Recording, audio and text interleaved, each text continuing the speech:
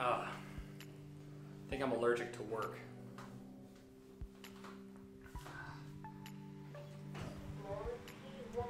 Dropping off something at the old FedEx office drop off. Because that's what you do when you're an assistant in LA. You run stuff to FedEx. Like, all the time.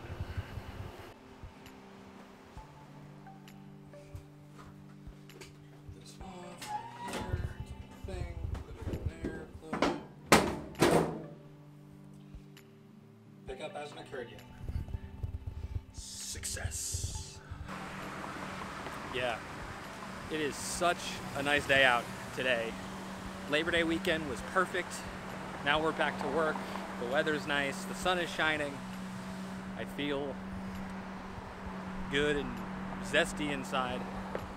So here's a question I get a lot from uh, young student filmmakers, a lot of Rutgers students who reach out to me. They're always asking, hey Zack, I'm an aspiring filmmaker, I'm an aspiring screenwriter, I'm an aspiring YouTube person, and I was wondering if you had any advice. What should I do? How should I go about pursuing the thing? And I think the first lesson is like, stop calling yourself an aspiring writer or an aspiring filmmaker. There's something about the phrase aspiring that bothers me. I'm aspiring to do something in Artland in this world. And I don't understand why we use that phrase. So one of my first jobs in entertainment was working at Late Night with Seth Meyers. It was the coolest job in the world. It was my first big like TV job, my first big comedy job. And for the most part, I worked with the writers. I was the writer's assistant's assistant, basically helping him uh, come up with the, the setups, the front half of every monologue joke, if you will. Um, and that was a really cool time. It was an amazing place to work. And Seth was a pretty cool boss. So people ask me that question all the time, and when I was working at Seth, I had a chance to talk with him for a little bit, and I kind of asked him the same question, and and that was the advice that he gave me was that first and foremost, stop calling yourself an aspiring writer. You either are a writer or you're not a writer. You're either doing the thing or you're not doing the thing, because the phrase aspiring implies that you haven't done it yet.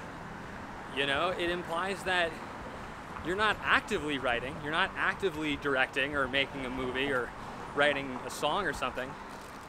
You just, you are aspiring for it. You're dreaming about it. You're wishing it into existence and yet not actually being active in pursuing it. P.S. Lemonade in Beverly Hills. Fantastic, fantastic lunch spot for like a quick grab and go thing.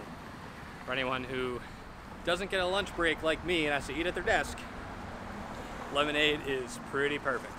And so, yeah, that's what I learned from Seth, big boss man at NBC. My very first job and my very first internship, he told me, you are a writer, you are a filmmaker, or you're not. And so I think all of us together collectively should stop using the phrase aspiring. Because all we're doing is just belittling ourselves. We're, you know, subverting our own aspirations by claiming that we're aspiring for something, as opposed to just doing it, just going out in the world and, yeah, I'm a writer. That level of confidence radiates way more when you're meeting someone in an interview, where they ask who you are and what you do. Oh, I'm a, an aspiring filmmaker. You'll be laughed at, you're a joke, you have no credibility. Oh, yeah, I'm a writer, I'm a filmmaker. Oh, what do you do? Tell me about your projects. Which is the answer that you want in the first place. All it takes is just a little confidence.